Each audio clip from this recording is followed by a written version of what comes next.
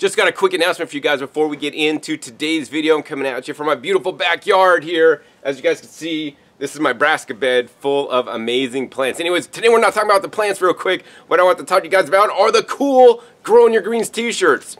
You know, for those of you guys that are long-term brewers, you know that I had a one-time Growing Your Green, green t-shirt sale, and that money was destined to helping me uh, have money to buy a farm, uh, which I'll give an update in a minute.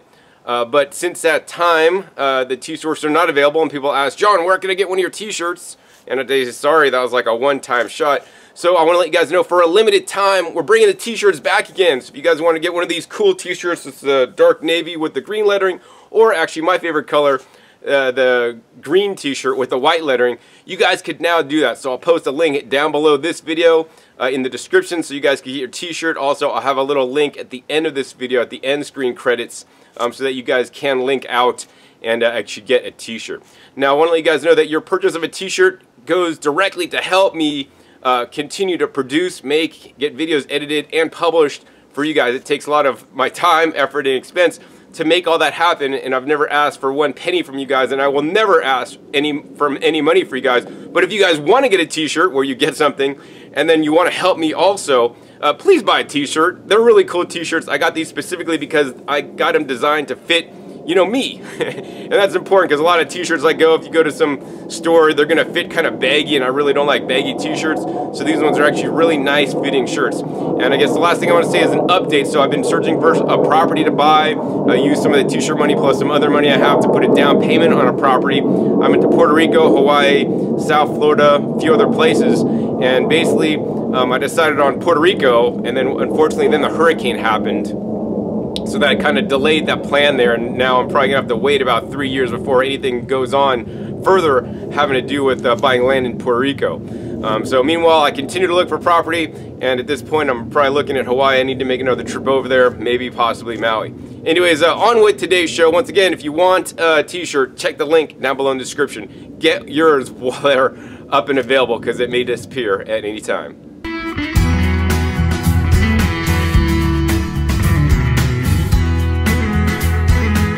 All right, this is John Kohler with GrowingYourGreens.com. Today we have another exciting episode for you. Where in the world today?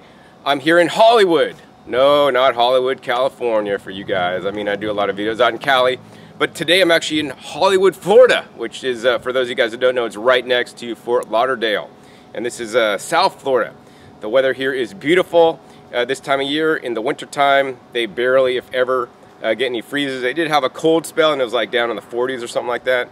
Uh, but the tree that I'll be talking about today, or edible leaf I'll be talking about today, is moringa. And as you guys can see, I'm just basically at a residential house. And the cool thing is, the business that I'm talking about today, or the farm, is called Elgee Farm. And uh, it started right here at the house. And actually, it, the, the farming operation still goes on here. This is like the home base. I mean, literally, it's the home base. And this is where the farming occurs. They also have other properties where they grow more of the trees um, but all the processing, or some of the processing happens here on site, and then more of the processing happens at their local retail store in uh, Fort Lauderdale. Anyways, the reason for this episode, as you guys can see, the front yard is basically done in a permaculture style. You know, there's a lot of uh, different things uh, stacked in there, um, food crops, non-food crops, but the reason what I want to show you guys actually is the moringa. So the moringa is just basically grown on this one side right here. So actually, uh, let's go over and uh, talk to you guys more about the moringa and actually why that is literally the staple crop or the main crop they focus on here at Elgee uh, Farms. So what you guys are looking at now is basically the border of the property line. So just, you know, a couple five feet over is actually the neighbor's driveway, but up to the driveway, they got all kinds of understory crops and wood chip down below to bring fertility, add fertility to the soil. Um, over here they got a really unique plant. I don't know the name, but it's some kind of tropical sage. It's not Cuban oregano, might look like that, but it's a tropical sage. The leaves are not quite as uh, fleshy as a Cuban oregano. Has a really nice uh, scent. And so that's like interplanted um, next to the moringa, which is the main crop we'll be uh, talking about today. And the interesting thing about Elgee is that how this, lily, this farm started is that the owner, the farmer, um, got tired of the corporate world, right? Like many of you guys are probably teetering on the edge of like getting tired of your corporate job and having to show up for work all the time and you want to create something and do something on your own. So the owner learned about microgreens and how you could literally start a microgreens business out of your house, right? And hey, I'll post a link down below to uh, where I went to a place in Baltimore that ju does just that. And they make over a $100,000 a year growing microgreens out of their house, right? So he got into the microgreens business, right? He started to grow it. He started to show up at the local, uh, you know, green market and, and try to sell the microgreens. But he found that he really didn't sell that much because people don't really know what microgreens are. Plus, you know, if they have the fresh microgreens, which are super healthy for you to eat, you know, people plainly, you know, in standard America, don't really eat salad. So then what are they what are they gonna do? What are they gonna do with the microgreens? They don't know how to eat it.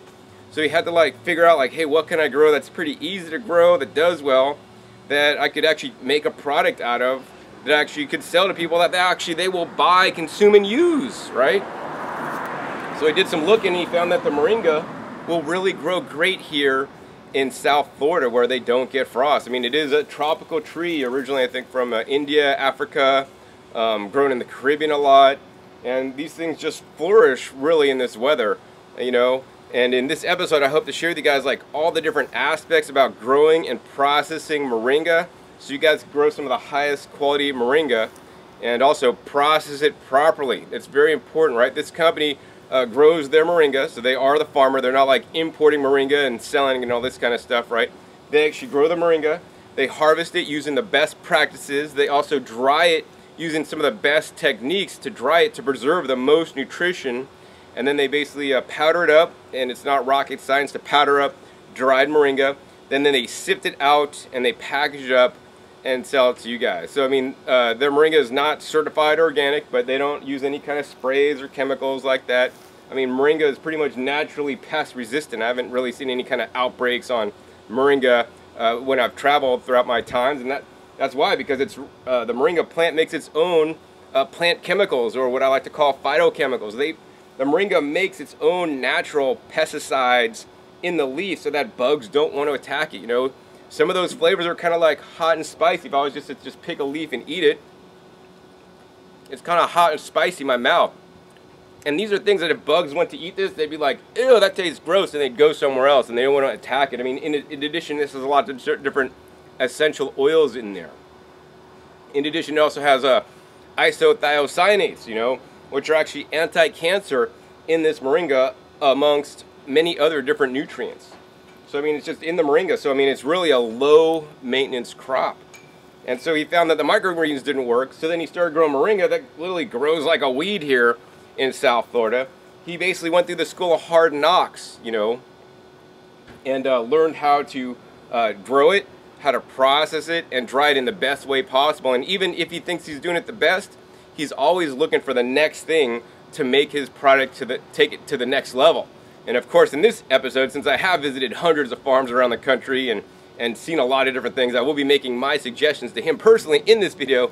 So hopefully he could take his product up a notch because he has probably one of the, the better powdered moringa products that I actually have found uh, to date, grown here in the United States. So this business was started approximately three years ago. So I mean, this is literally a, a new farm, new business, and he, while you know he doesn't have like 10 years of experience, you know, just literally being involved in the day-to-day operations of growing moringa, processing moringa, and always try to improve, you know, it's like you what you live is what you'll get better at, right? I mean, I live my life every day by gardening and growing food and sourcing and getting the best quality fruits and vegetables to eat. So I've gotten really good at that. You know, I, I play around with juicers. I mean, that's my life. Every day I'm juicing if I'm home and I'm playing with juicers and using the juicers and I go to trade shows and I learn about the juicers so I could teach people about the juicers, and I'm probably the number one expert in the world about juicers that you guys probably didn't know, and I know a lot about gardening, more than most people. But I still have lots to learn about gardening, but I'm, I'm pretty good on the juicers. but anyways, uh, so he's literally involved with the moringa on a day-to-day -day basis, and he gets different moringa seeds from all over the world literally to plant and try to grow different varieties and new kinds to see which ones are going to produce the best for him, which ones are going to have the best flavor, uh, which ones are going to produce the most and uh, you know fullest leaves and all this kind of stuff. And so he has a bunch of trees in the front that actually you know he uh, he harvested probably a little while ago. What I want to do for you guys is actually take you guys to the backyard to show you guys some of the techniques he uses to grow the moringa because he does it in a permaculture style techniques and some of the things he's doing a little bit different than what I've seen and I want to show this to you guys.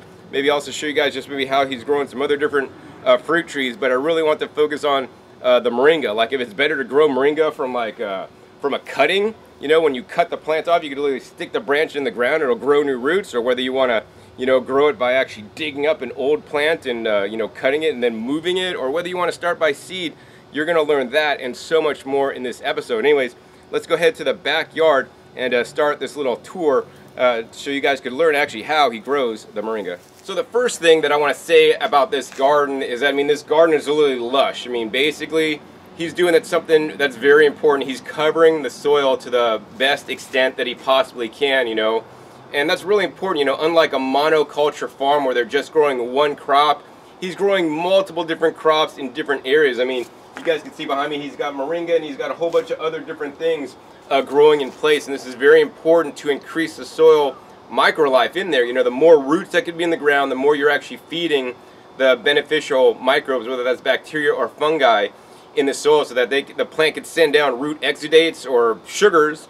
Uh, the microbes can eat them and uh, thrive, and then also the microbes act in symbiosis with the plant to actually help bring in nutrients for the plant.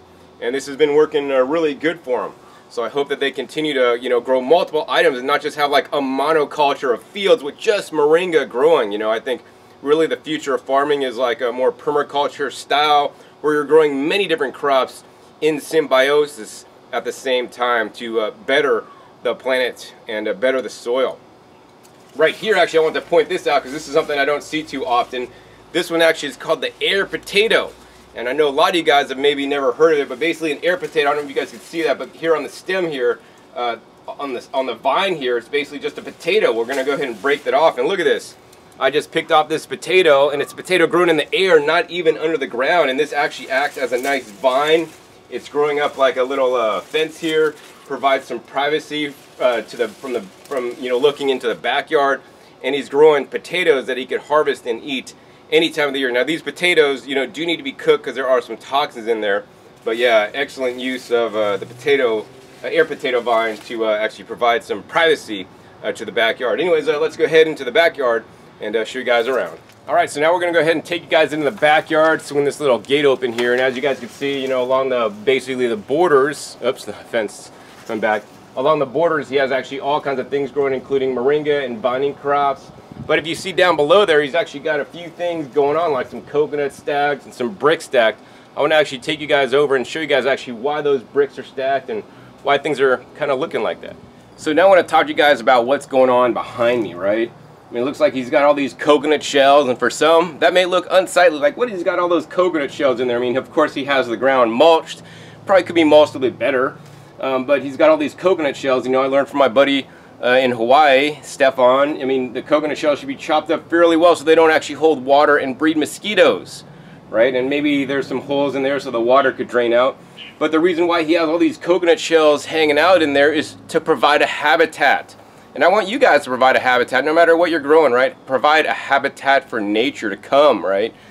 You know, this, all the coconut shells there, spiders could live in there, right? Little lizards and other little creatures could hide in there. They could get protection from the sun and they could get protection from predators, right?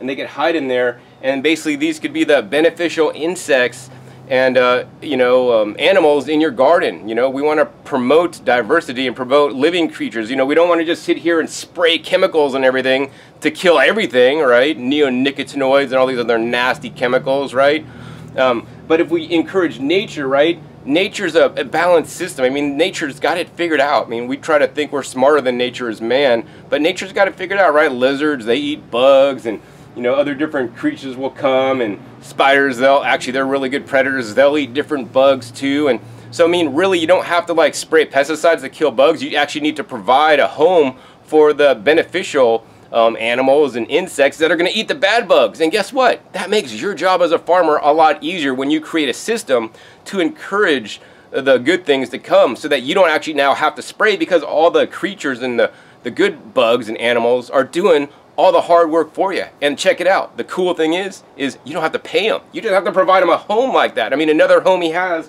is just a little cinder block here, and it, it has the holes here so you could actually just run through it if you're a little lizard or creature. You could hide in there in the heat of the day or maybe even at night to sleep. I mean, I don't know what they do. And the other thing he does is actually he leaves fruit just kind of hanging out, you know, for things like ants and for birds and other little creatures that will come and eat the fruit, right? For some, you know, and depending on where you live, it might attract rats and other things, but you know, he says this is for the birds and other creatures and he leaves it out because it's he thinks it's a helpful thing, right? And even the ants, right? Even if there's a lot of ants, right? The ants can't does the ants do play a role in, you know, growing plants and pollination. They could also be a negative thing, so that's something you need to kind of keep in check. Like you want to have some ants, but not too many ants because that can be a problem. And of course, the type of ant is also very important as well. So I think it's great that he's doing that. I think the next step is we're going to go over and show you guys his uh, primary way he adds fertility uh, to grow all the plants he's grown here. So the primary method he's actually feeding his current plants, and he has been doing this for a while, is he brought in lots of compost over the years. Especially, I mean, here in South Florida, uh, the ground here is literally sand.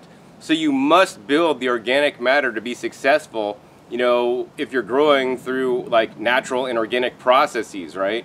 Otherwise, if you just have the sand, I mean, it's a place to hold the roots, but there's no really fertility in there. And so that's why many people in South Florida actually just use water-soluble chemical fertilizers to basically feed the plants, right? You could either do the man-made system, which is, hey, if I put water-soluble fertilizers, we don't need any soil, we don't need any microlife in the soil because that stuff gets instantly absorbed into the plant roots that goes to the plant and it allows them to grow. Now, that's all good and stuff, but the problem with that is that when you do that, number one, in these man-made chemical fertilizers, it doesn't have the range of nutrients, um, you know, that it should, in my opinion. I mean, they may have up to, they usually focus on three main minerals, may have up to 16 to 18, you know, if they're really into it. But that, that's totally missing the point of the 70 to 90 different trace minerals that are available on Earth that should be in your soils for optimal soil health. And plus, it just defeats the whole purpose of having the microbes, the, the heavy chemicals will kill the microbial life in the soil because it's literally not needed. It, it, degrades the soil and the other problem with the chemical fertilizers is that they run off. So I mean, especially here in Florida, it's sand.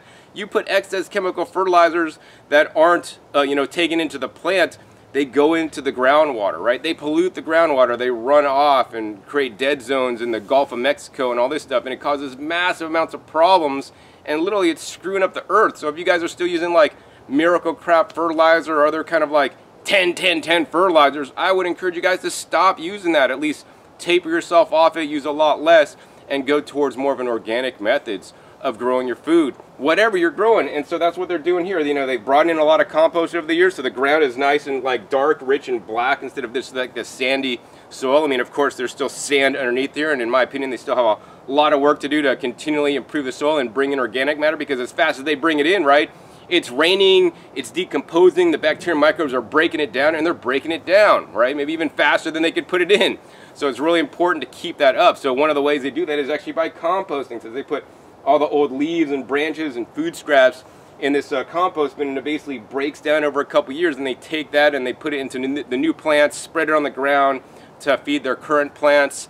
In addition, they also spread the, uh, the mulch out and the current trees, you know, when they have to trim the trees or when they harvest the moringa, they pull off all the leaves, which is the part that's valuable to them, and all the wood and all the young baby trunks are then chipped up and, and uh, chipped out and then spread all over the ground to basically feed uh, the moringa trees that are growing here the moringa. So it's like the, the trees here are cannibals. And in my opinion, you know, the best food for plants are the same plants or other plants that are very similar, right?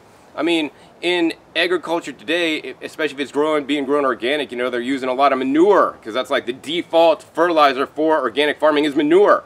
And while manure, you know, is basically second-hand plants processed through a chicken, a cow, a horse, or whatever, right? Uh, that animal has already actually taken out the nutrients it needs to survive. And in, in, its poop, it's a lot of bacteria, which could have uh, bad bacteria. It's also anything else the horse or the other animals ingested, including antibiotics, you know, chemical residues, pesticides, uh, heavy metals. So they don't use any kind of manure fertilizer, uh, you know, from what I know about this farm. And I think that's really good. And farms, in my opinion, should move away from uh, manures because most of it is coming from the feedlots, you know, of factories. And I don't want you guys to use manures either unless you could source a trusted source.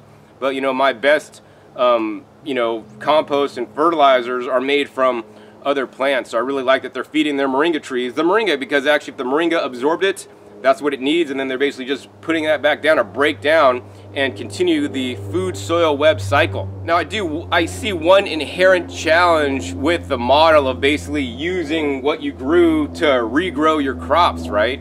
And here's, here's the challenge I have, right? Your compost that you make or that you bring in is only as good as what that compost is made out of. For example, like if I was to go out and eat McDonald's and hamburgers and junk food and sodas and cokes, my body is made of sodas and cokes and junk foods. And we know when you guys do that it's not so healthy. And I don't encourage you guys to eat those kind of foods right?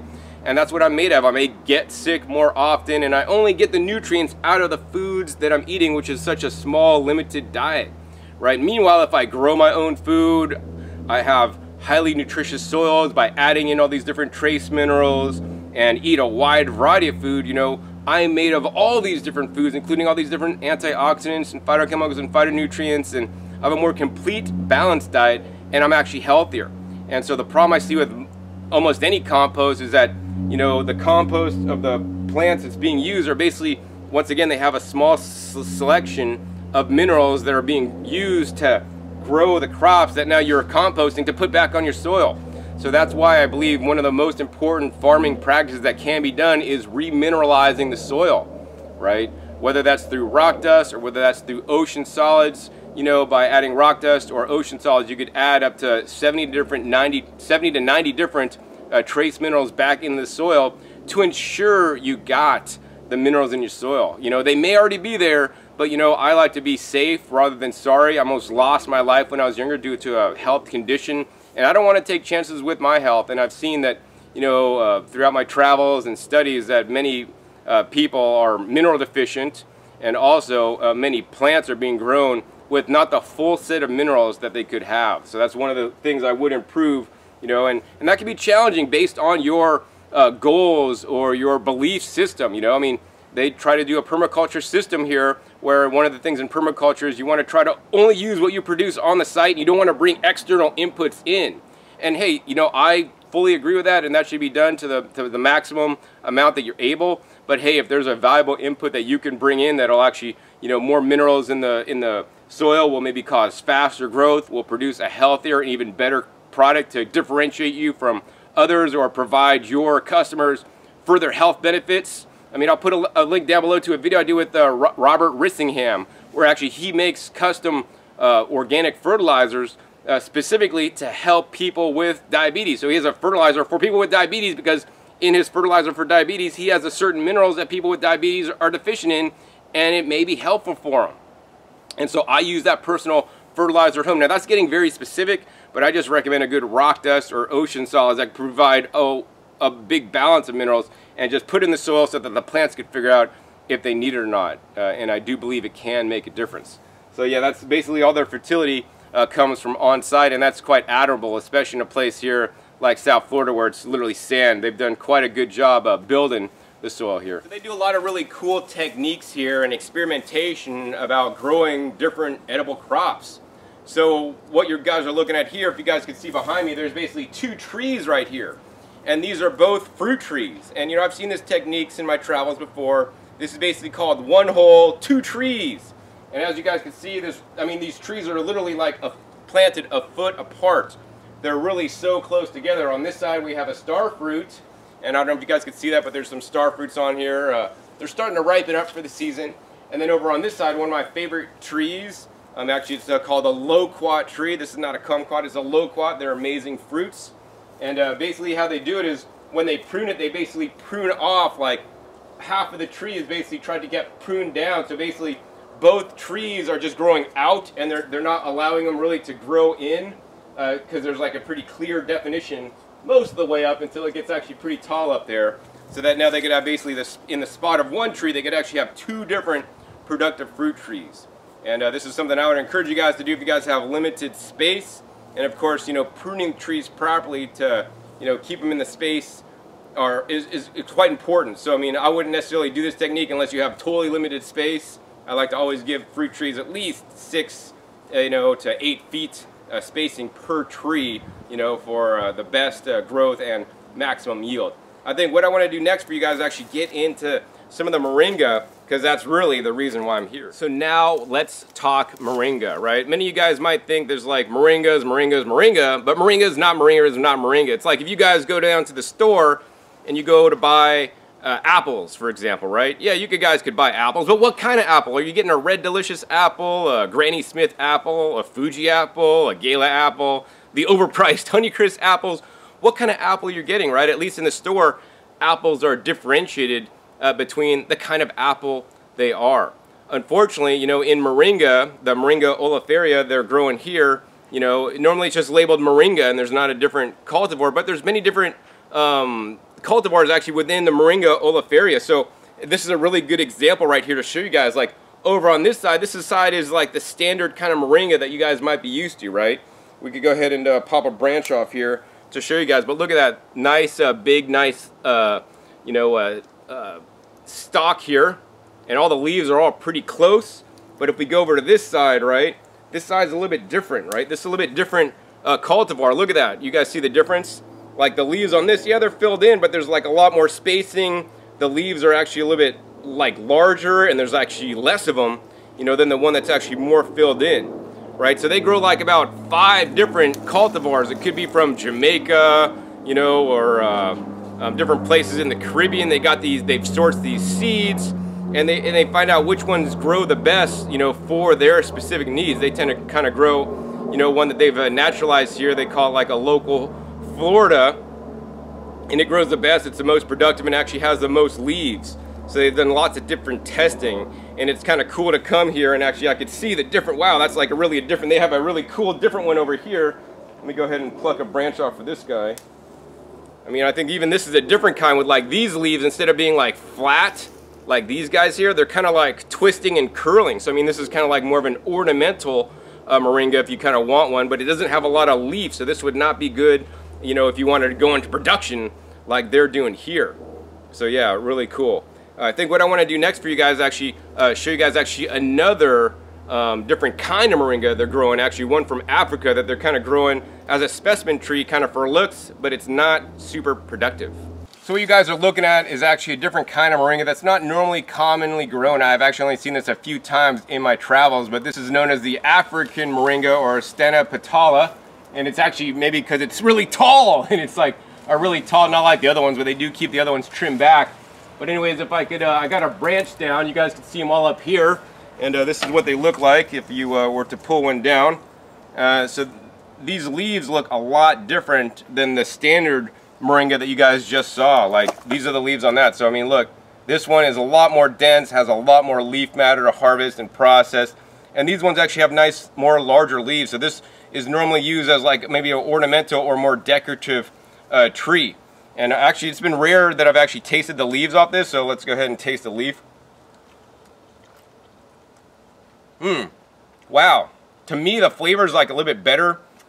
It kind of tastes a little bit more nuttier. I mean, not as sweet as Katuk, but it doesn't have like quite as strong of a bite, although it still does have a bite compared to the standard uh, Moringa oleifera that is normally uh, and commonly grown. So uh, definitely cool. But yeah, they don't grow this one just because it's it uh, you know uh, looks nicer and doesn't produce as much leaf faster. To me, it doesn't look like it's actually even uh, growing as quickly. So next, what I wanted to talk to you guys about is the propagation or how to grow or how to start to grow moringa and actually how they grow it here on the farm, right? So there's many ways to do it, right? One of the most common ways to propagate moringa is basically just take a cutting, right? So, I mean, we're here at a nice tree here that they haven't yet harvested for this season. They're getting ready to because you can see they basically chopped this down and that's last year's and then now it's sprouted up all new growth. But basically to propagate moringa, what you're going to do is that you're going to basically just uh, take off a whole branch, uh, kind of like this. And I mean, as a rule of thumb, you want it, you know, no bigger than your thumb uh, in diameter. That's going to uh, be definitely better. I mean, while you can root basically big cuttings of the trunk, you know, it, it can take a lot more energy for the trunk to actually send down roots. So they like to basically uh, uh, do it here with a cutting that's no bigger than your thumb in diameter. And they like to take maybe a, a couple foot long piece you know, like here, they'll basically uh, strip off some of the leaves because they're going to harvest those to actually dry. And then basically they'll take this and they basically just shove this in the ground, I don't know, maybe uh, six to eight inches down. So this is like underneath the soil. And then over time, this guy will actually start to grow roots and then uh, it'll continue the growth up top and turn into its own tree. So depending on where you live, your climatic conditions, how much water you guys have, you know, you could get varying rates of success doing the cutting method. And you know, this is always the easiest method method if you have like friends that have trees or you get you see a fallen branch, you can just stick it in the ground so you're not wasting it. And you could grow a new tree and hey, that's great, right? They don't necessarily like to do this method because, you know, it may not take and the other thing is when they're when it grows roots out of the um, you know, the cutting there, uh, basically the roots, it doesn't have like a long tap root. It doesn't like really set in too good. I mean, it'll take and it'll grow, but it's just not the best way to do things to get the fastest and most luscious and bountiful growth if they're growing for the leaves uh, for harvest. Now I'm here amongst the moringa and I want to give you guys actually another really important tip if you're propagating moringa from cuttings, right? It's very important to get a proper cutting, right? That's going to perform the best for you. And so uh, the thing that I've learned is that if you're trying to get a cutting and it's like shooting out of the tree like sideways or diagonally, while this cutting could grow, right, it's not ever going to really grow too well because it's kind of like curved here.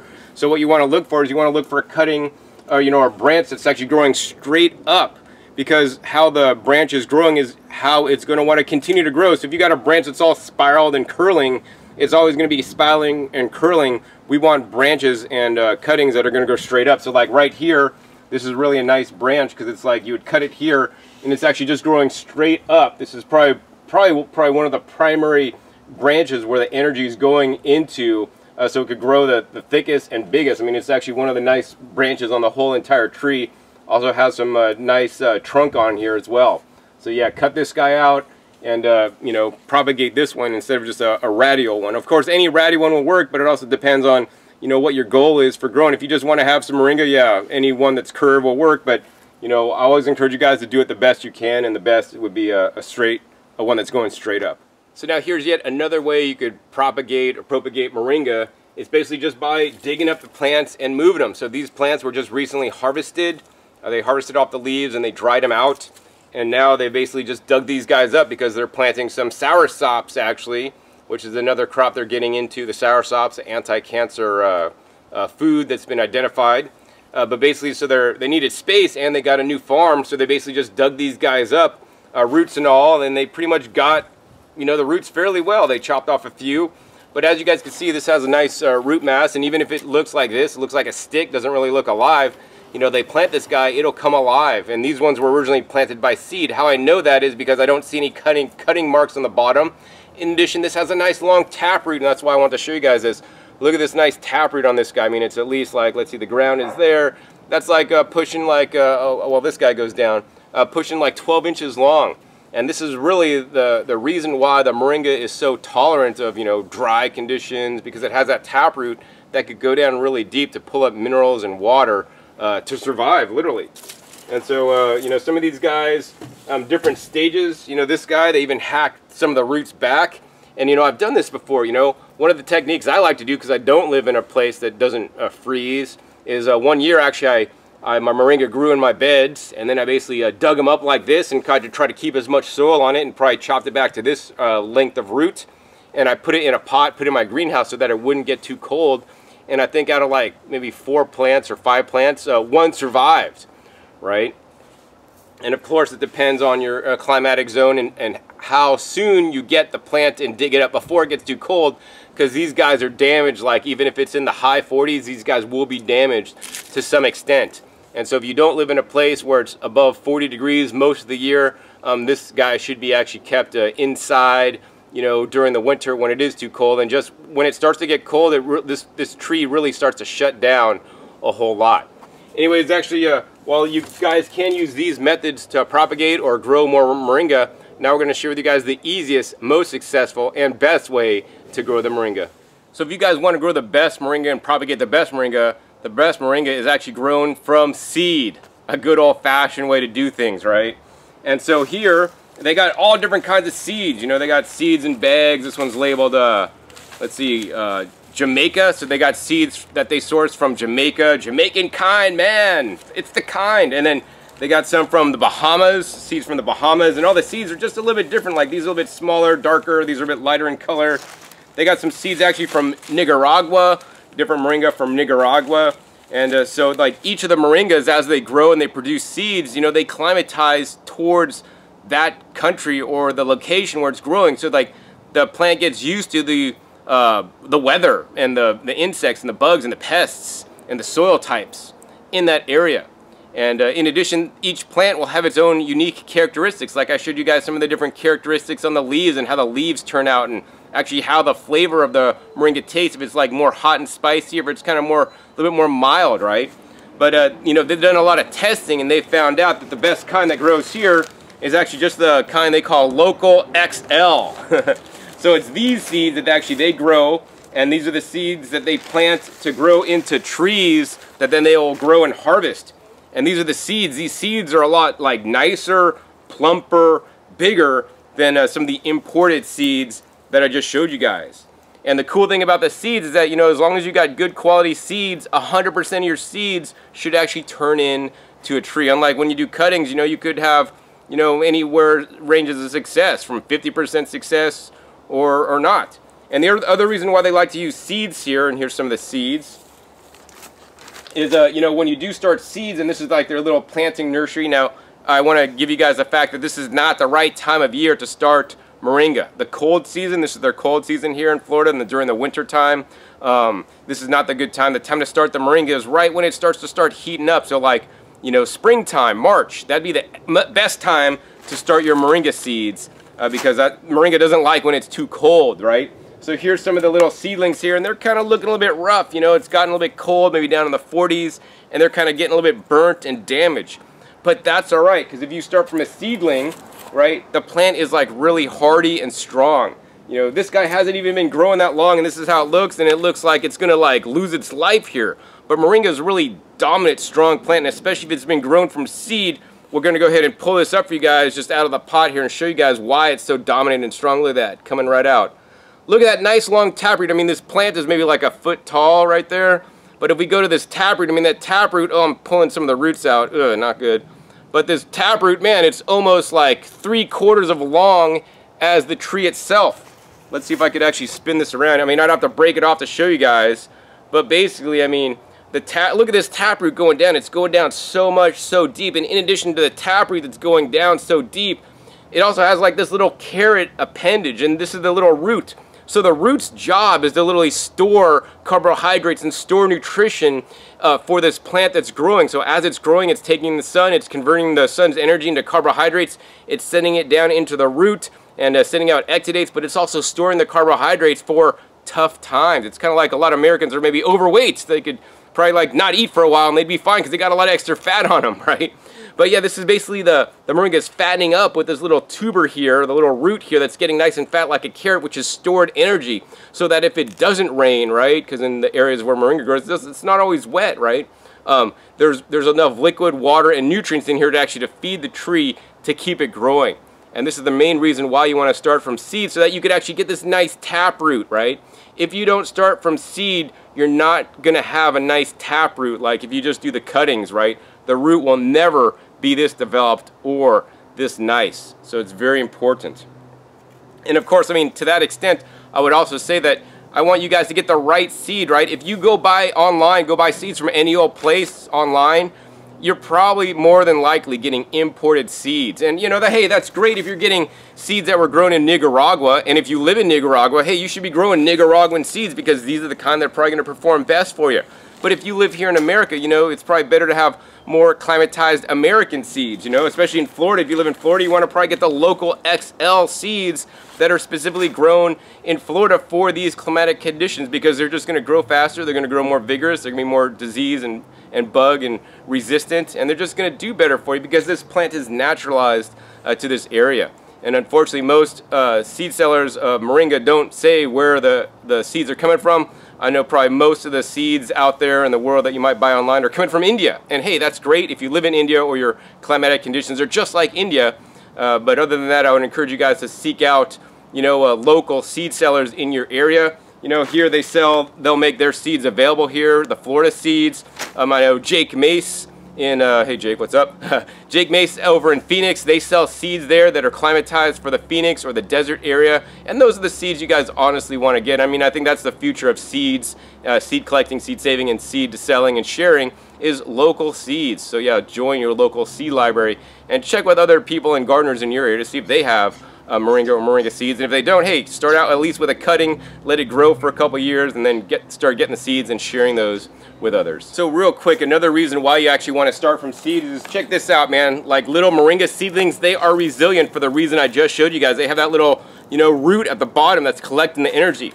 And uh, this moringa seedling right here, it was growing up this little uh, um, uh, stalk right here, and somehow it got broken off, whether somebody tripped on it, an animal ate it, or whatever. But even though they got cut off, it sent up a new shoot, right? And uh, this is a nice baby tender shoot. So like the moringa, the root is still staying alive and now it's just going to be growing more even if it's damaged, right? And this is not going to happen if you put a, a, cutting from the plant in the ground, it gets cut off, right? There's no developed root system. It's going to lose its life. It's going to croak. It's not going to be successful. So yeah, start your moringa from seeds, guys, is very important for the uh, healthiest and uh, most uh, tolerant plants. So once you guys get your moringa seed growing, uh, you know, there's a few choices. Number one, you could direct seed it, like where it's going to grow, where it's going to plant, where you want to grow it. Or you could do it from transplant. So, you know, they do some transplants. They're doing uh, testing over there. But normally they grow from direct seed in the spot they want the tree to grow. And in my opinion, and the farmer's opinion, uh, that's the best way to do it is to grow it right where you want to grow it, right? And this works great if, once again, you live in a tropical location where it doesn't get below 40 degrees, uh, especially below 40, but maybe under even like high 40s, Ringer trees don't like it so much. But direct seeding is the best, but a lot of places you guys might not be able to get away with that. So you will have to start it from, you know, uh, transplants and seedlings indoors before your season. So you want to start them early and get them growing so that you could actually plant them out. Now the main reason for this is that because seeds land where they land and they want to grow where they are. They don't like being picked up and moved, even if it's in a nice transplant one gallon pot where you're trying to not disturb the roots a lot, right? The plant knows if it's going to be basically uh, planted into a raised bed, for example, from a transplant. You know, it likes to sit its roots down wherever it is, and it doesn't like to be moved like us. Like, how do you like to just basically uh, pick up and move tomorrow? I mean, nobody would really like that. They'd have to like move all your furniture, all your books, everything, everything you own, pack it up and move it and it's just kind of unsettling and that's what it does to trees or plants so I'd always encourage you guys whenever you guys can is to plant seedlings or plant the seeds in place and let them grow right where they land they always do better than if you start them in a little container and then try to transplant them later and if you are transplanting them later you know try to try to do minimum uh, pot transfers before you actually plant it in the place they're growing, you know, for the best results. I mean, one of the most important times in a plant's life is when it's growing from a seedling and it's a baby. And actually, it's the same for us, right? Especially if you guys have babies or human kids or even pet kids, right? It's important when they are young and small that they are nurtured properly, and more importantly, they're fed and taken care of properly because you know if you don't give a baby the proper nutrition when they get older they could really be messed up right so it's really important whether it's a baby human or a baby seedling is to nurture them when they're small so they'll have the best time and best chance of probability and be the strongest when they're an adult, right? So what we're looking at behind me, literally, uh, the tree right over there, and I'm kind of a little bit far ways away, because uh, that guy was is only six months old. Here in South Florida, things grow like gangbusters, and the moringa grows really fast. I mean, actually, even over just a growing season in my climate, you know, they'll get 10 feet tall, just kind of like that one, and that's just like six months of growth here. And you know, after even a couple weeks, you could start plucking off maybe like one or two leaves for fun to eat. Uh, but after six months, this is at a point where actually you could do uh, some good harvesting uh, to the tree to eat for you and your family. Now here, you know, they don't generally let the trees grow too tall because, you know, to bring out ladders and to harvest the leaves that are very up top, you know, it might not be safe. And to get the maximum growth, they basically just uh, top these guys off, harvest all the leaves, and then they basically uh, chop and drop or they chop up and uh, mulch the rest up to put on the ground. And then once they do the initial chop, you guys can see um, then the, the, the, plant, much like a, like a basil, you know, basically uh, will grow out more. So let me go ahead and show you guys actually uh, some plants that they've actually chopped and harvested. And now they're basically just uh, on their second growth spurt and uh, pumping out lots more leaves uh, to harvest. So now we're going to go ahead and show you guys actually how they um, harvest and this is how I've seen it done online but they're actually doing it in real world example. So basically what happens is we could move this to the side here so you guys could see down below. Um, you can see down below right here you can see basically here's the the tree as it came out of the ground and at this point basically they just lopped it off. So all the top growth they got to harvest maybe they uh, chipped up all this and it went down below to feed the, the tree. But basically after you chop it off, right, um, the plant is not sensing the plant hormones that only occur at the growth tips. And the plant senses like, hey, I don't have any growth tips growing. I need to make more growth tips. And then basically it'll shoot up uh, new branches, right? And so literally what you're seeing here is only six months of growth. I mean, these are nice new branches. Uh, they're pushing one, two, pushing like three feet tall now lots of really nice growth. And this is what they harvest. You know, they're not like sitting and harvesting like super old leaves. They're harvesting like the youngest, tenderest, freshest leaves that they put through their um, special drying process to have the highest quality food. And this is what I want you guys to do. Like, if you guys are growing your own moringa or whatever, I always encourage you guys to harvest like some of the the you know the, the nice fresh leaves that kind of like look more vibrant. Don't harvest those ones that are turning yellow to eat. Those could go to your animals or your compost pile harvest the ones that are really nice, rich, deep green, have lots of chlorophyll content and minerals and you know plant hormones that are more near the stem of the, and, and the growth tips than you know towards the bottom.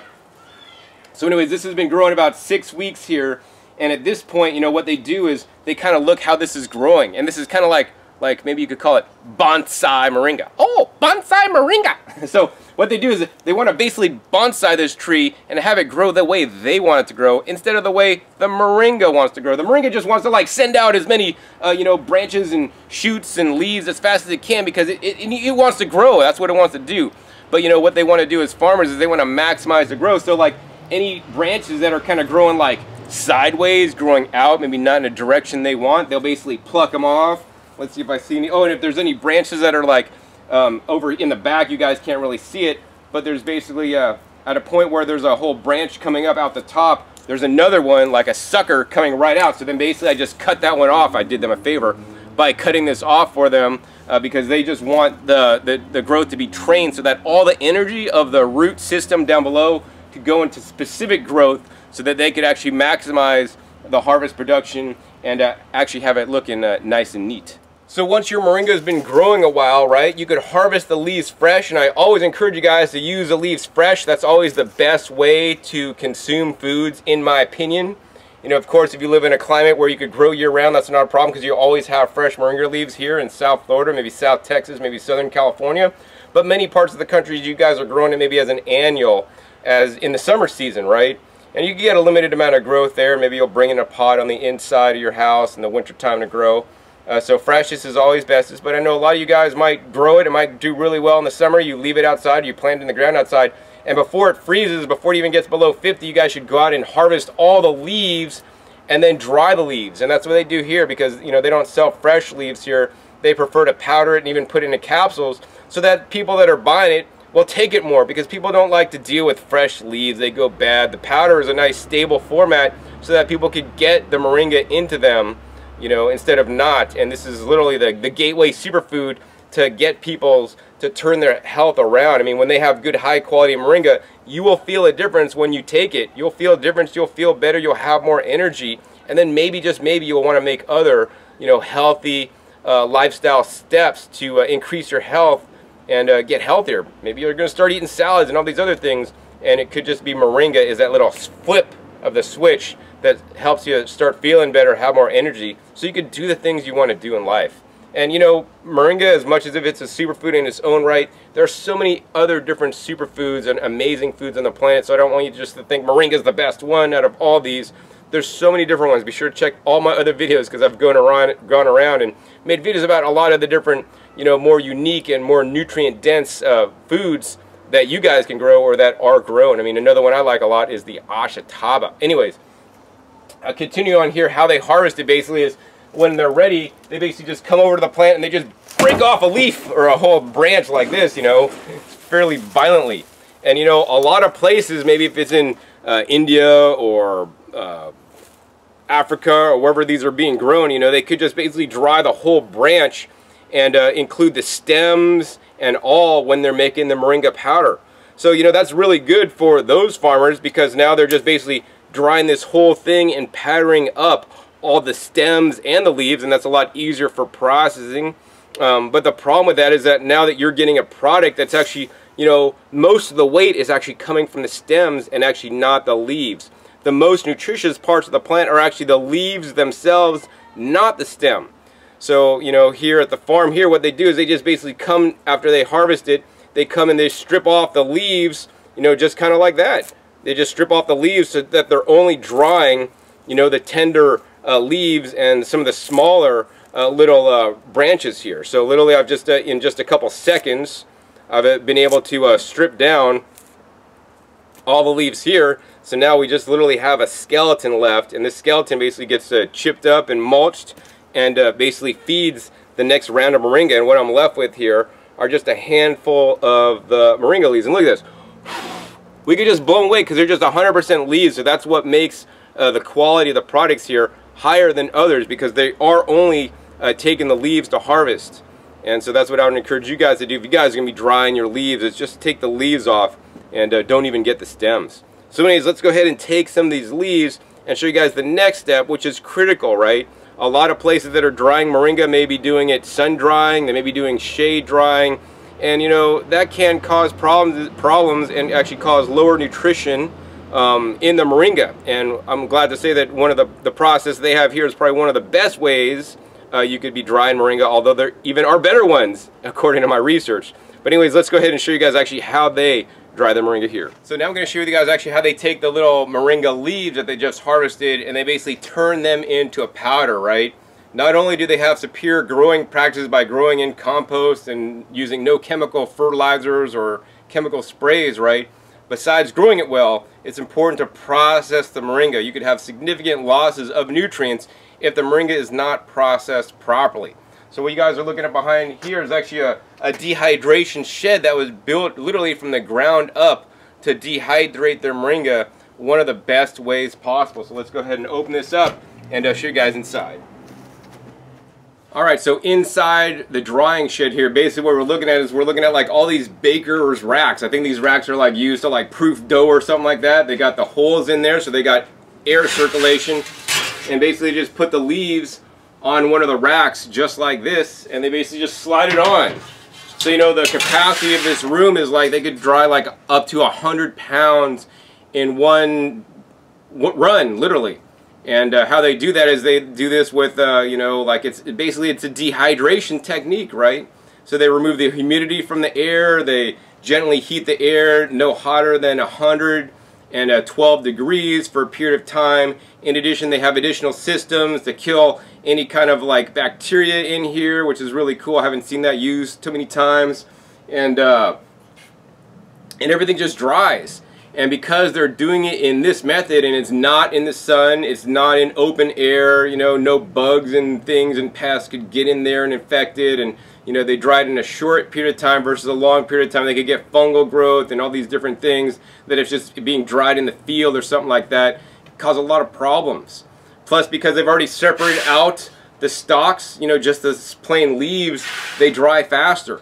So they've gotten their drying times down, depending on the time of year and the humidity in the air and all this kind of stuff, between 8 and 18 hours. You know, one of the most important things I want you guys to be aware about is if you are guys are drying food, you know, there's a few things that are really important. Number one is the drying time, right?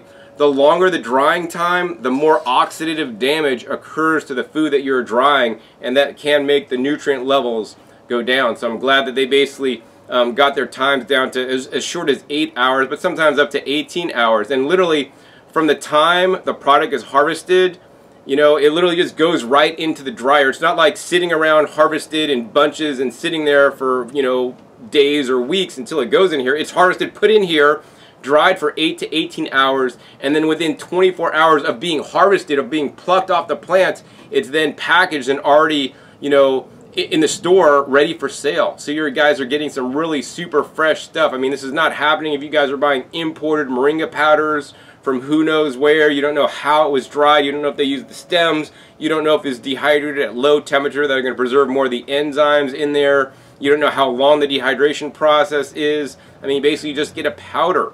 And you know, there is a difference in flavor of the different powders, right? The more flavor the powder has, the more nutrients it has in there. If you taste the powder, it doesn't taste like much, there's not as much nutrients in there. So I, I want you guys to be aware of this.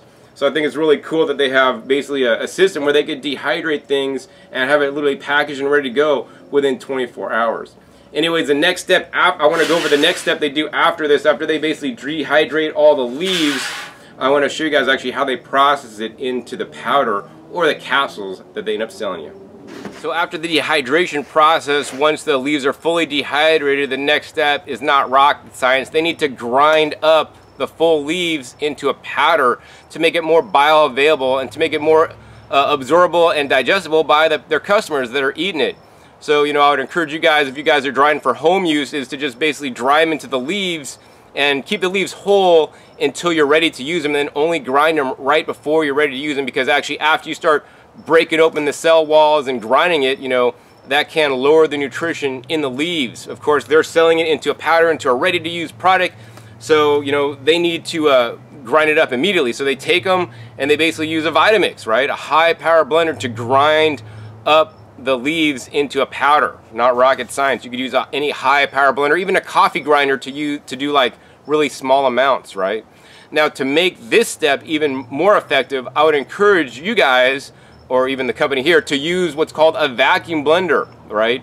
inside a blender, when you blend, there's a lot of free-floating oxygen in there that can cause oxidative damage, and this is readily apparent if you're blending like, you know, some apples and water. The apples turn brown really fast. I mean, you could cut an, open, an apple open, leave it on the counter, it'll turn brown, but it'll brown very slowly, but do the blades running around there, it's really causing a lot of oxygen bouncing in and off of all the cell walls and everything can cause oxidative damage to the nutrients. So, you know, I'm always into trying to find the best way to do things and so now they have vacuum blenders that came out only earlier this year. I'll put a link down below if I remember to a vacuum blender. And uh, I want to give you guys a disclaimer. I do sell vacuum blenders. That's one of the things I sell for a living. Um, actually, the Kuvings vacuum blender is probably the better one on the market at this time. But uh, that you could actually put the items in there, suck out the extra oxygen in there, so now you're uh, grinding up things in an oxygen deprived environment. You know, I don't know that this is going to make any kind of major differences or anything like that, but you know what? Every possible advantage to have a better health, to have more of the different phytochemicals and phytonutrients that may be oxidized by the grinding process, in my opinion, is a good thing. Of course, you know, maybe a slow grinding method such as like mortar and pestle, you know, would probably be another good way to do it to uh, prevent a high-speed action from a Vitamix. And that's just my personal opinions. Anyways, once they blend that up in the Vitamix and they got it into a powder, they basically use a sieve like this and uh, this is actually a really nice, fine sieve, if you guys could see that. You know, we could maybe shake out the sieve, and uh, you could see some literally some powder coming off. And we have some here. I mean, this is literally like uh, moringa dust right here. They really give you a nice fine powder. Any Anything that doesn't go through the sieve the first time, and once again, there are no major big stems in there, um, they then will basically regrind that into a powder so that it does go through the sieve, and then that is actually sold as their pet moringa.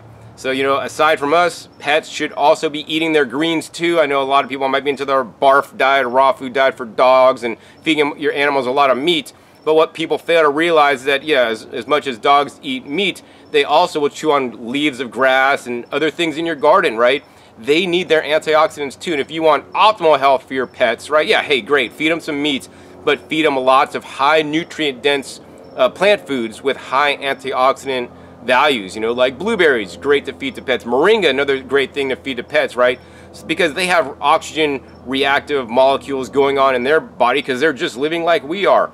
And this will keep them healthier for longer so you guys can love your pets. Anyways, uh, so they make a pet product too with the seconds, you know, that because that's not good enough for the humans. so uh, they have a couple different kinds here and these are basically the Moringa capsules and this is uh, Elgee Nutraceuticals uh, moringa capsules, Florida grown, raw, vegan, 100% moringa leaf, world's most nu most nutrient dense foods.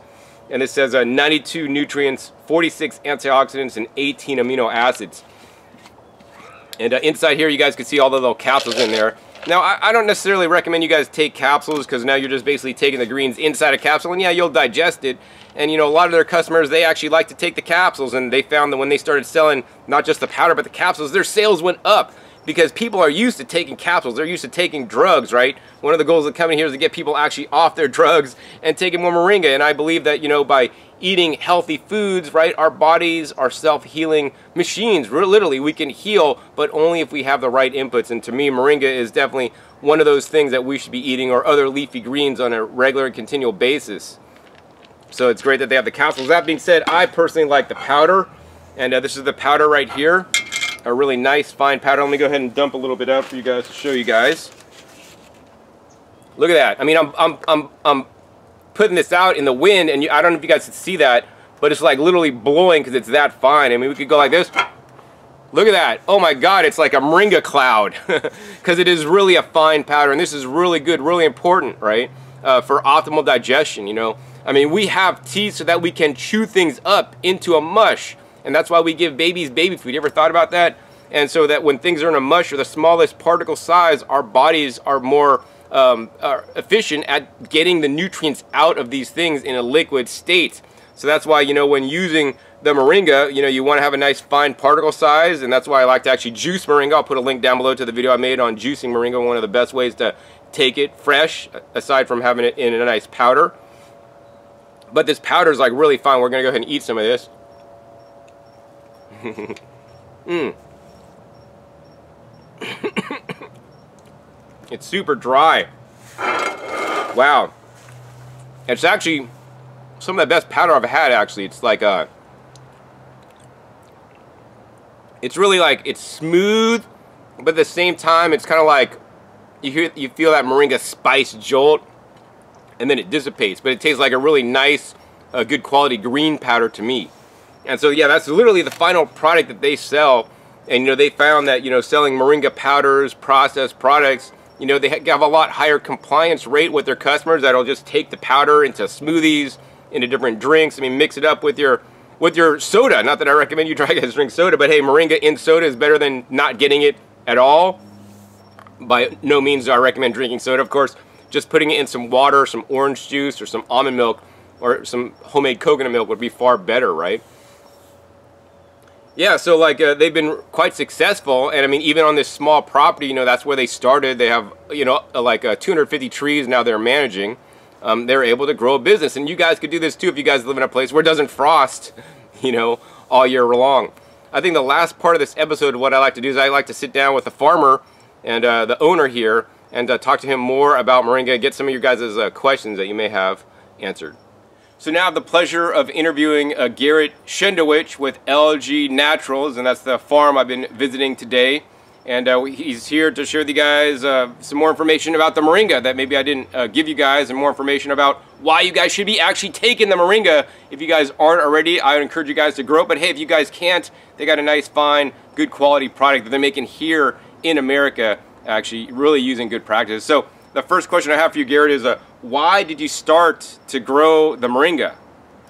Um, we started growing moringa because it was the one tree that people could get in their system that would actually make a difference in their life. Um, and, and, it was a noticeable difference to where people would feel the difference. Uh, and it had the most bang for the buck, I would say. Cool. And so another thing, you know, that was important to me when I'm walking around is like I'm seeing that you're not spraying any kind of chemicals and that basically there's like no I don't see any pest damage. So is, is, it true that the moringas are really you don't have to spray it or anything and like nothing messes with it? No, absolutely. It's one of those kind of set it and forget it. You said if you have it under ideal conditions, um, and it should be a strong plant and it should take care of itself. Uh, the real only pest damage we get here is uh, iguanas, and that's superficial and it's very minimal. But very few, if any, uh, insects or anything ever bother the actual moringa. Cool. And I know some of you guys might have tried to grow moringa before, and like some of the leaves will like turn yellow, right? So why would why would you say, uh, Garrett, leaves turn yellow on a moringa? Like what's going on? Uh, for the most part, it's either one of two things, which is either too much water or not enough water. Uh, and that's the main reasons. And at this time of the year, the, some of the leaves can be a little bit um, yellow just because it's not the optimum growing season. Too cold. It's a little too cold, and uh, they're just not growing as fast and as rigorous. Whereas come the middle of summer, there's not a yellow leaf on the tree, and they just they're they're, they're all perfect. So how much water do you guys give your trees? None. we don't water our trees. We let nature take care of that, um, and we do that. Um, one of the reasons is we just want the trees to be strong. We want them to take care of themselves. If they if they get a little bit uh, little drought uh, conditions, we want the roots to go a little deeper, and that's going to hold them over for whenever times get a little tougher. They can take care of themselves. Uh, we don't baby them for sure. Yeah, and that just makes for a stronger tree that's going deeper, getting more nutrition up from the ground.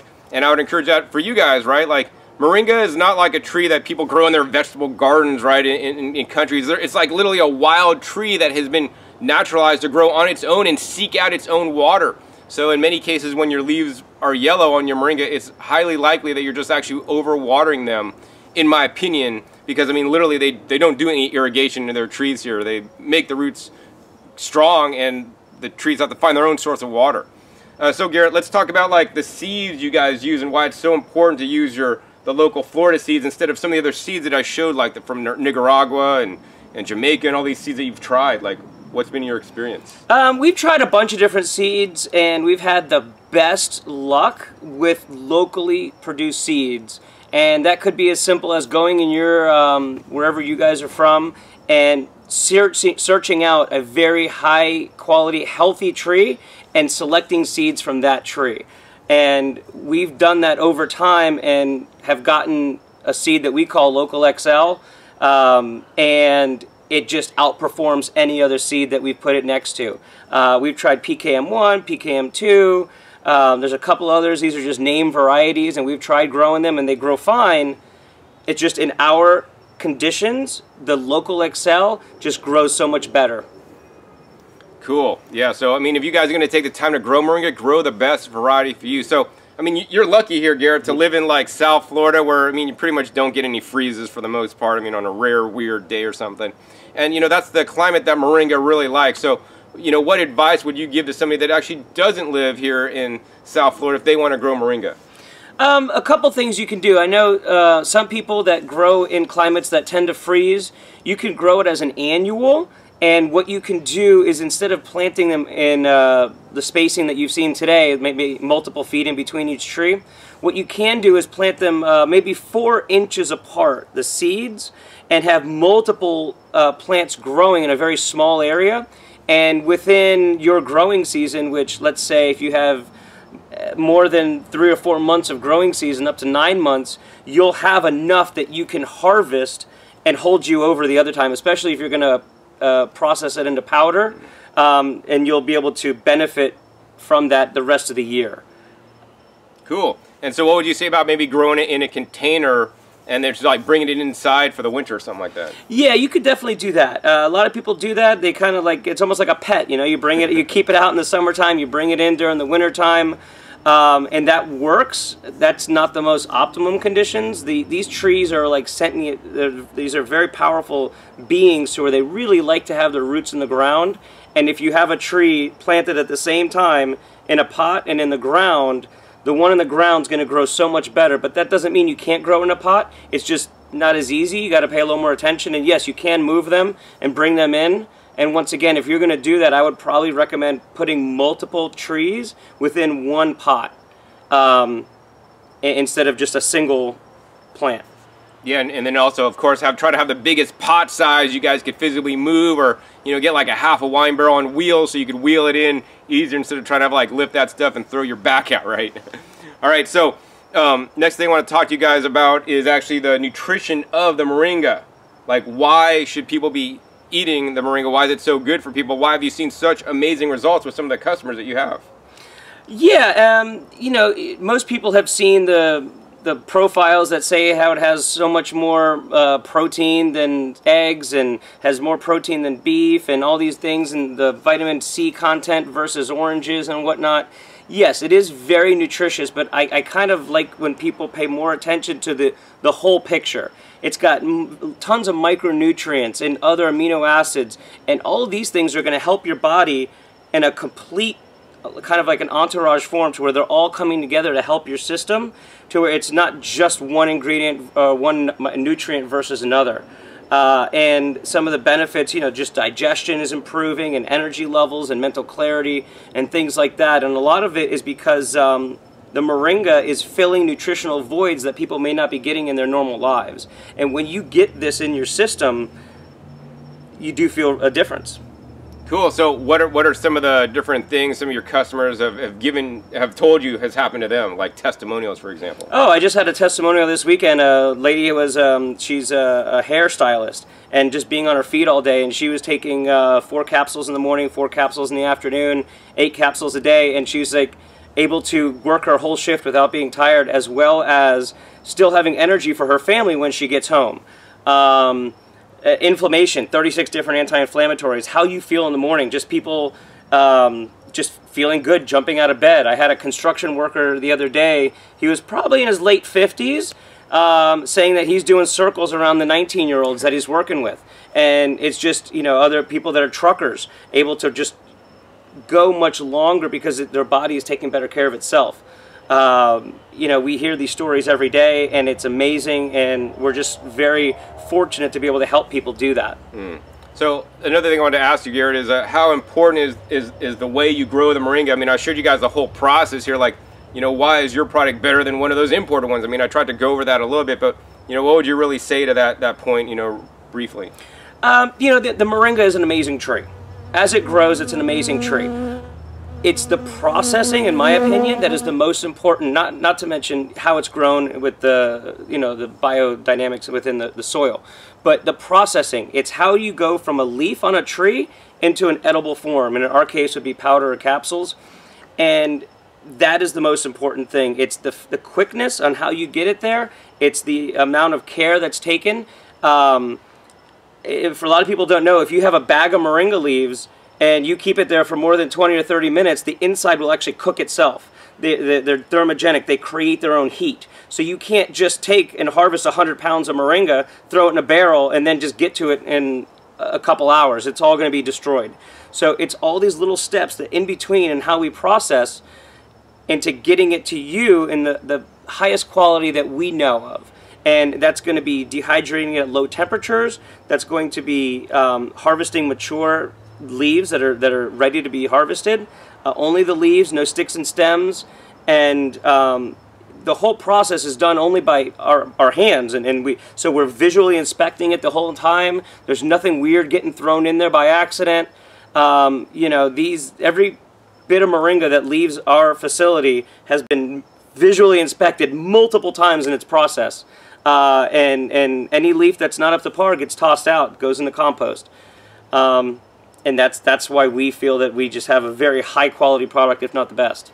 Cool. Yeah, I mean, a lot of the most moringa that's being sold is actually imported from out of the country, and you guys don't know how exactly it was dried, how it was grown, how it was harvested. You know, if they actually had to irradiate it to bring it into the country because they have such unsanitary conditions, and I mean, it's so many variables. And you know, yeah, you're gonna pay a premium price, but you're paying for a premium product. You know, that's definitely gonna give you guys results, right? So the next thing I want to ask you actually is uh, about like how to take the powder. I mean, it's easy to take the capsules, just drink with some water, but if somebody buys the powder and they make their powder at home for themselves from their moringa trees, like how do you eat it? Or, I mean, I'm sure you've learned a lot of things from customers and experimented a lot yourself. Like, what's the best way to get this moringa powder in you? Uh, the best way is obviously whatever's easy in your lifestyle. So, uh, you know, we tell people juices, yogurt, um, oatmeal, smoothies, uh, one of the ways that I like to do it that's real simple, especially when I'm on the go, is I'll take a, a banana or a piece of fruit and just kind of stick it in my, my jar of powder, and, and the powder will actually stick to the fruit, and then I'll take a bite. You do that three or four times, and you'll feel it. I mean, the energy just running through your system. Um, you'll feel it. It's pretty prominent. Um, salad dressings. You're making salad dressings for the week. Put some put some uh, moringa powder in there. You're doing a, a, hummus, put some in there. You're making some kind of uh, tuna salad, egg salad, whatever you like, something like that. Put the moringa in there. We try to keep it raw um, as much as possible. Um, some people cook with it, and that's fine, but to get the highest quality, the highest benefits, we definitely prefer raw. So anything raw that you're doing, um, any raw cookies, raw anything, just get the powder in there. Uh, you know, anywhere about a teaspoon per day is a good start and everybody knows you know your own body better than most people, so whatever works for you. But a teaspoon of powder is a pretty good, solid uh, standing starting point. Cool. So actually, I didn't get to go over the concentrations. But basically, I think when they process it, they take 100 pounds of uh, the fresh leaves, and that condenses down what to 20 pounds of the dried leaves. Yeah, depending on the time of the year, but it's a, it's a highly concentrated product. Um, so one of the things that you want to remember is it is concentrated. So the only time we ever hear uh, people with um, not positive experience is them taking too much. If you take too much, because it's a powder, it's easy. You know, a spoon, a teaspoon and a tablespoon, what's the difference? Oh, there's a big difference. Um, you know, if you've ever had wheatgrass, you know, a little is good and too much may not be so good. It's the same thing with moringa. Start slow, find what your body likes, and continue to take that. But for most people, a teaspoon per day is a good start. Cool, awesome. Yeah, definitely help you guys out to get some of this stuff in your life. And I want to encourage you guys, besides moringa, you know, there's so many other different superfoods and green foods and kale and ashitaba and Egyptian spinach and longevity spinach. All these different foods are amazing, and I want I want you, I want you guys to like include as many of these guys as you can, and especially more importantly, just grow them yourself and be able to harvest them. Of course, if you don't want to grow them and harvest them, you know it's great that um, Garrett here is making an awesome high quality powder for you guys to get. So I think we're pretty much coming to the end of this episode. I've been here a while. I got to get running. I'm supposed to make another video today. I don't know if I'm going to have time. But uh, anyways, uh, if somebody wants to order from you guys, learn more about your company, do you have like a website, a phone number, contact information you'd like to share? Yeah, absolutely. Uh, it's Elgee Natural. It's E L G E E natural.com where uh, we also have a storefront in Las Olas. Uh, you're welcome to swing by if you're local. Otherwise, we ship out. We ship everything, uh, no problem. And we just want to we just want you to have it. So whatever is easy to get it in your system, let's do it. Um, either come by if you're local and come say hi to us. Otherwise, we'll ship it right to your door. Cool. I mean, one of the things I do want to say is that it was really great that I was able to come into the farm and Garrett invited me down so I could see the whole process. And, you know, they have an open door policy here, you know, unlike some big major company, right? If you call and want to talk to Garrett, you could talk to him personally. I mean, he's the farmer. He processed, he knows how to do it. You could talk to him personally and get your questions answered. You know, so that's very important to me to know that, you know, I'm supporting a good American-owned company making good quality products with and that you could access and get a hold of him to get your questions answered. So yeah, I want to thank you and applaud you for, you know, doing the work you're doing and, and having the, you know, more transparent model so people could know what's going on because like there's all these corporate trade secrets and all these things behind closed doors that I'm not a big fan of and I'm glad that uh, I was able to share you know the, basically the whole process of growing powdering up moringa whether you guys want to do it for yourself you know, for you and your family, or whether you want to hopefully maybe even start a business somewhere, hopefully not here in the South Florida area, you know, to make these products and make Moringa available to more people and also give you guys, a, you know, a, a, an income aside from a big corporate job. Because, you know, I'm, you know, I believe to make America strong again, we all need to be, you know, our own bosses and do something we love. And it's apparent to me that, you know, Garrett really loves, you know, what he's doing here, growing food and having his hands in the dirt and not, you know, dressing up and being one of them corporate cronies. Anyways, so, uh, so oh, the last thing I'd like to say is that, hey, if you guys use the coupon code GYG when you go to Elgee Naturals on their website, you know, uh, if you order fifty dollars, they're gonna hook you guys up with an extra. What are they gonna? What are you gonna get? Hook them up? Uh, with? we give a little free gift. We have a, a, healing stick that's made with the moringa oil. We didn't talk too much about that today, but the oil is extracted from the seed, and it has deep healing penetration and deep healing qualities. Um, and we have the oil as well, but uh, we take the oil and we make it into a healing stick and uh, we'll throw that in there for free with any uh, $50 order. Appreciate it. Cool. Yeah, and then also too, you know, they do have the seeds available. You know, sometimes in smaller quantities. Hopefully, they're gonna get into production more and have more seeds available. If you guys want to get that special Florida variety that they're growing here in Florida, it's probably the best variety to grow here. Of course, when you live in other areas, try to source seeds from your local area or get, you know, even cuttings to start out from people in your local area because those trees have adapted to your specific uh, climate zone. So I guess uh, any last final comments you'd like to share with viewers that we might have left out, Garrett? Yeah, just um, you know, is, is, if you guys are getting nutrition in your system, whether it's from moringa or everything else, just like you know, he was uh, John was saying, just get variety, try and source high quality stuff, and support your local farmer. I mean, when you come to a farmer's market or you find farmers and you give them your money directly, you are basically allowing them to do it again and to, to help more people. And if you know a good farmer and they're really taking good care of you, tell your friends. Let everybody know and support us because the only way we can come and help you is if we can make it happen. So we appreciate it and uh, look forward to your support.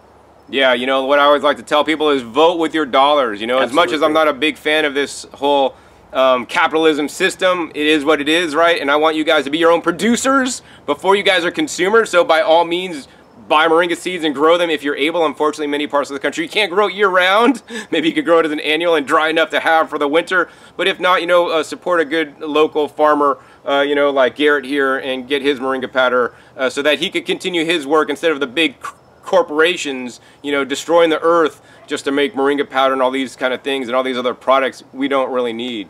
So, you know, uh, grow as much, be a, as much a producer as you can, and hey, if you gotta consume, consume consciously and from, you know, good local uh, people.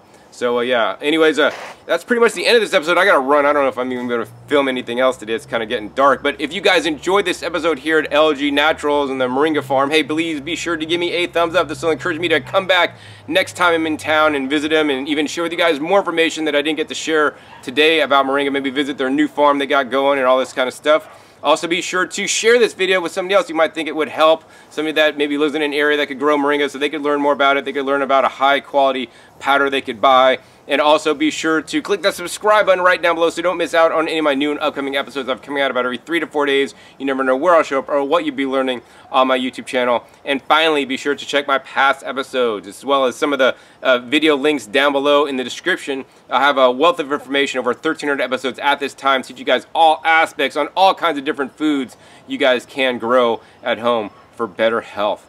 So uh, with that, my name is John Kohler with GrowingYourGreens.com. We'll see you next time, and until then, remember, keep on growing.